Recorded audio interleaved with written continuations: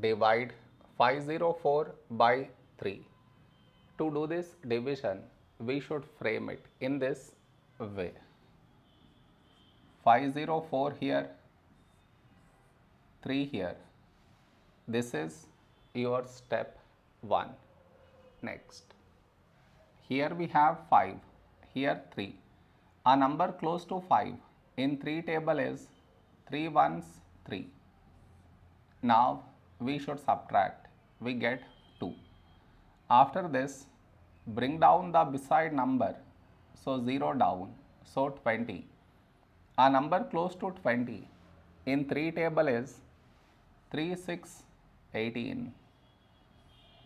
Now we subtract, we get 2. After this, bring down the beside number, so 4 down, so 24. When do we get 24? In 3 table, 3 8s, 24. Now we subtract, we get 0. No more numbers to bring it down. So we stop here. This is our remainder, this is our quotient.